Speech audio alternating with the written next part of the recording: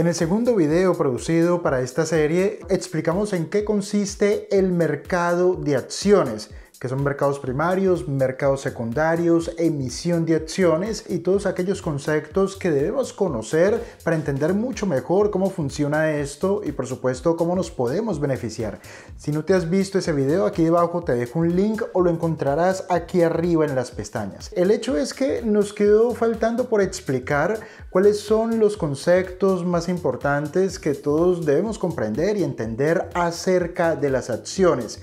A continuación vamos a explicar en qué consiste el split, el contra-split, la recompra de acciones, la emisión de nuevas acciones y en qué consisten también los dividendos. Creo que este video será muy pero muy interesante. Toma por favor una hoja de papel y un lápiz, realiza anotaciones y déjanos tus comentarios aquí debajo. No me demoro más y comenzamos.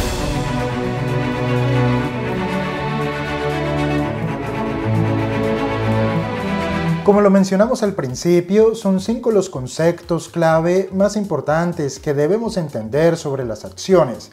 El primero de ellos es el split, el segundo es el contra-split, el tercer concepto clave es la recompra de acciones, el cuarto la emisión de nuevas acciones y el quinto concepto son los dividendos.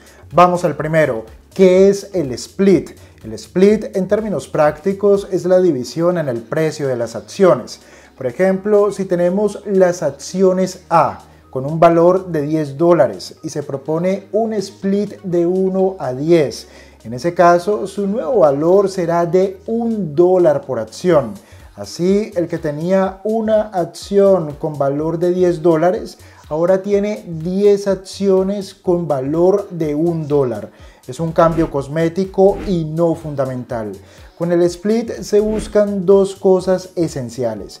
La primera de ellas es que el precio por unidad de las acciones sea más accesible a los inversionistas minoristas y de esta manera atraer más volumen comprador que favorezca el movimiento alcista en el precio de estas acciones. El segundo objetivo que se persigue es trocear las acciones cuando éstas cotizan a precios muy elevados y hacer que el precio descienda para generar el efecto psicológico que haga pensar que éstas están más baratas. Esto es marketing bursátil puro y duro. Un ejemplo reciente de split fue el realizado sobre las acciones de la tecnológica Apple, tan pronto como el 24 de agosto del año 2020. En aquella ocasión, cada acción de Apple se convertiría en tres acciones. En ese momento, el valor de cotización era de 499 dólares con 23 centavos por acción, pero al día siguiente de realizado el split, su nuevo precio era de 127 dólares. Se reduce el precio para favorecer que entre nuevo volumen comprador. Simplemente se ha dividido la manzana en tres partes iguales. No es algo fundamental, es cosmético y tiene el objetivo de generar este volumen comprador de parte de los inversionistas minoristas. Pero esta no ha sido la única ocasión en que las acciones de Apple se han dividido o han sido objeto de un split.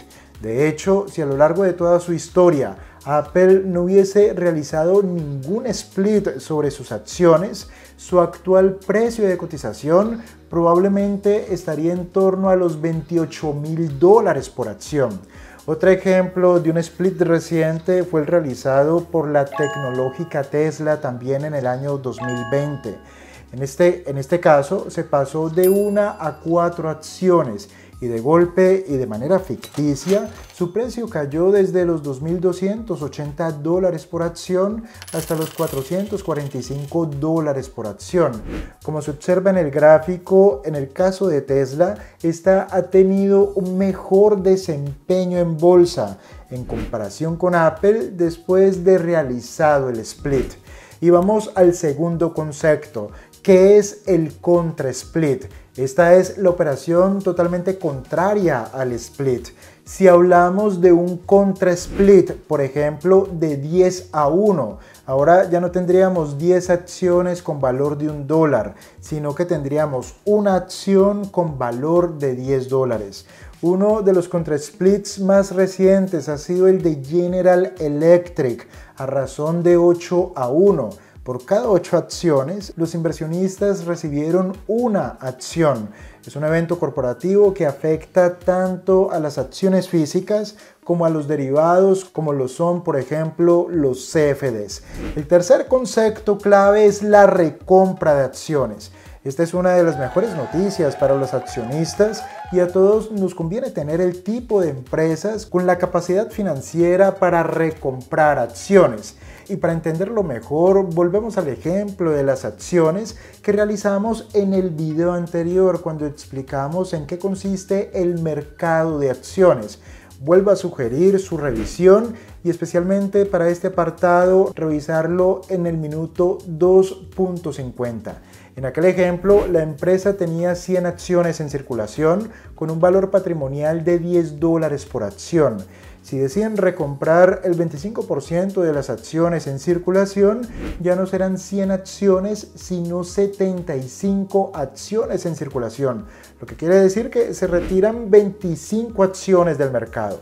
Como el valor patrimonial de la empresa sigue siendo de mil dólares, estos mil dólares de valor patrimonial ya no se tendrán que dividir entre 100 acciones en circulación, sino entre 75 acciones y así como por arte de magia, el valor patrimonial por acción sube de 10 hasta 13 dólares con 30 centavos. Esto es un 33% más y esto lo recompensa el mercado.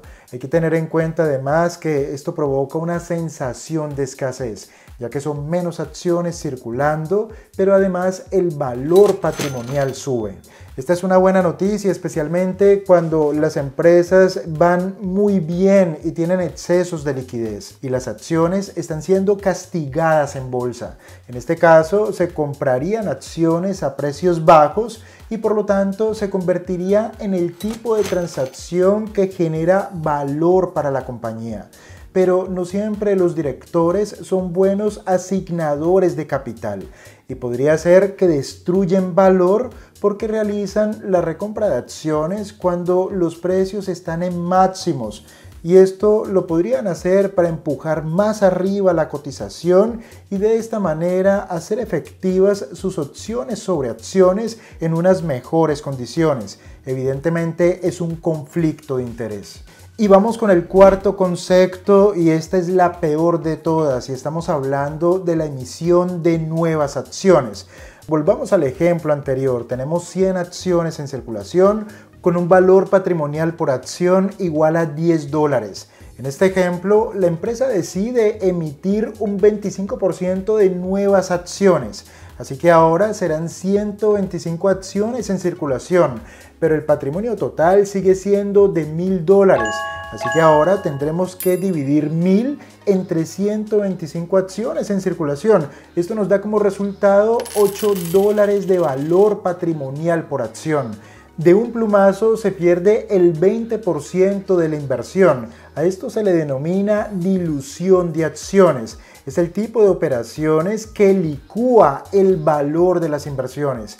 Esto es frecuente en compañías con dificultades financieras que no cuentan con recursos propios suficientes para financiar la expansión o para pagar sus deudas. Es la muerte para los accionistas y es fuertemente castigado por el mercado.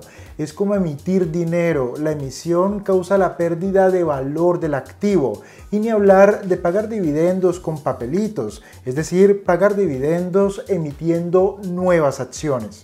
Un ejemplo claro de este tipo de eventos corporativos es lo que ha ocurrido con las acciones de Día, una compañía que cotiza en el IBEX 35 español. Como se aprecia en el siguiente gráfico, Día ha pasado de cotizar a niveles de un euro por acción hasta el actual centavo por acción. Esta caída en el precio de cotización de día es resultado directo de la emisión masiva de nuevas acciones. Y esto ha sido así debido a la reestructuración que ha llevado a cabo esta empresa que incluye pagar a proveedores y a todo tipo de acreedores las deudas emitiendo nuevas acciones. Directamente se diluye, se licúa, se hace polvo el valor patrimonial de las acciones. Y vámonos al quinto concepto o al quinto elemento clave de análisis sobre las acciones y son los dividendos. Pero ya que este concepto es tan importante, lo vamos a dejar para el siguiente video. Como lo acabo de decir, el siguiente video será de dedicación exclusiva al tema de los dividendos, así que no te lo debes perder. Recuerda antes de despedirme que si quieres profundizar en tus conocimientos, la mejor sugerencia que te puedo realizar es que tomes nuestro curso gratis de bolsa. Son 15 capítulos en el cual se incluyen todos los conceptos y los aspectos clave para mejorar nuestra toma de decisiones, buscar de una mejor manera las oportunidades, reducir los riesgos y aumentar nuestro potencial de beneficios. Aquí debajo te dejo un link con los detalles, solicita el curso gratis y nosotros lo enviaremos a tu correo electrónico. Si este video te ha parecido de valor, por favor déjanos un gran pulgar arriba. De esta manera obligaremos al algoritmo de YouTube a mostrar nuestro contenido a la mayor cantidad de personas posible. También por favor comparte nuestro contenido en tus redes sociales y si no te has suscrito a nuestro canal, considera suscribirte. Una última recomendación es que nos sigas a través de nuestra cuenta de Instagram arroba invertir aprendiendo. Desde mi punto de vista es la mejor cuenta de Instagram que encontrarán en el mundo de habla hispana sobre temas de trading y de inversiones. Y es la mejor sencillamente por la calidad del contenido que allí compartimos. Aquí debajo te dejo un link de Instagram. Nos vemos allí y nos vemos por supuesto en el próximo video. Hasta pronto.